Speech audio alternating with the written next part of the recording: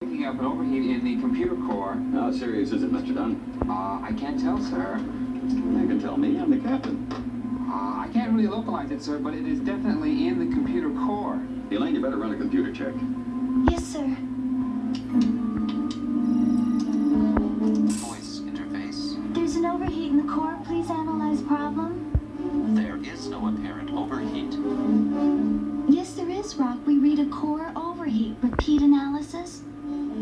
Analysis confirmed. All systems compute positive. Well, not from where I'm sitting, they don't. Look, Elaine, cut the knot where I'm sitting shit. It must be a human error.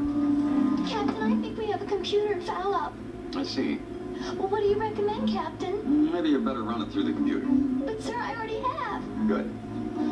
Well, just to be on the safe side, should I check the rear data banks? Now, why don't you check out the rear data banks? Yes, sir.